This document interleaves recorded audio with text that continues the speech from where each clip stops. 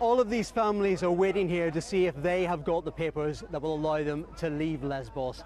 In many cases, they have been here for days and they now want to go on to other parts of Europe. In the meantime, they are really stuck here until they get those papers and the conditions they're living in, well, they're not great. In fact, aid workers and charities have described them as dreadful. You can see the amount of rubbish that is lying around here and people have been complaining about the lack of water, the lack of food that's available, and the lack of toilets. In fact, if you take a look in that rubbish, you will find dirty nappies. Meanwhile, tents have been set up all over the place. That's for those who are lucky enough to have some shelter. Clothes are hanging up in the background just to get dry. People are having to live among what is really wasteland. It's been described as a refugee camp, but it's little more than wasteland, to be honest.